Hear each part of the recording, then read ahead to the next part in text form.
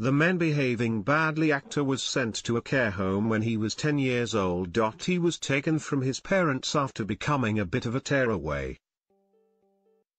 Landing in trouble with police for breaking and entering and theft. And, as a terrified young lad,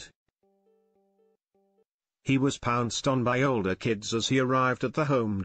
They scratched Neil on his left arm and the symbol of TV series The Saint on his right arm, Using Indian ink and an old needle. Morrissey opens up about the tattoos on the new BBC show, saying, I was taken to a kid's home. There was no goodbye to my parents. No hugs. No kisses. No goodbyes. These tattoos that I have were put on that day. Big boys of 16 and 17 did them. The star admits that the traumatic experience of being put into care left its mark. He said. You are better off just dealing with it and talking about it because it is just a story. Pilgrimage, featuring Debbie McGee and Ed Byrne walking the 26 kilometers Camino de Santiago, starts Friday on BBC One at 9 pm. Underscore Doctor Who. Producer needs a real TARDIS New executive producer Matt Strevens will wish he had a TARDIS. He wanted to keep details about the new BBC series with Jodie Whittaker a secret so as not to spoil it for viewers. In Doctor Who magazine, he said, We're trying to retain the mystery and keep the magic of discovery for them.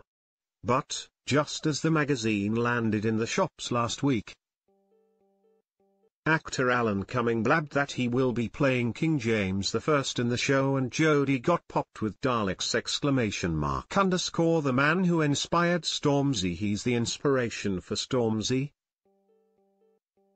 Has met Prince Charles and Nelson Mandela and is a well-known record store owner in London's Brixton. But a new BBC Two film.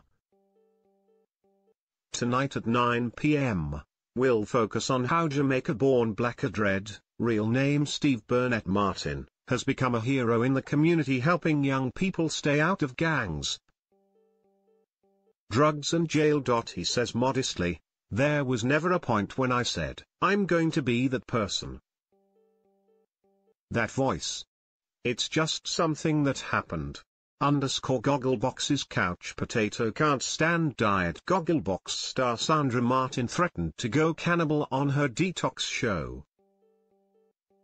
The couch potato was put on a juice diet to lose weight, but she hated it. And, after a lecture by a nutritionist, she says, if she talks any longer then I will eat her. The show is on ITV tomorrow at 9 pm.